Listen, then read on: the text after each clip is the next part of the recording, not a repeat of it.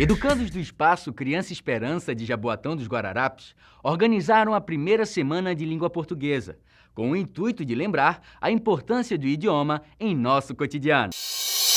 Recitação de poesias, contação de histórias e um campeonato de soletrando fizeram parte da programação. Melhorou eu lendo, escrevendo, a acentuação, porque foi uma bela preparação. A semana proporcionou novas oportunidades de aprendizagem para as crianças do espaço. Nós trabalhamos de mãos dadas com a escola. A gente trabalha a escrita, a oralidade, né, a produção de texto. Os 100 anos do compositor escritor e poeta Vinícius de Moraes também foram lembrados na Semana de Língua Portuguesa. Vinícius está inserido na política, na sociedade e dentro de sala de aula também.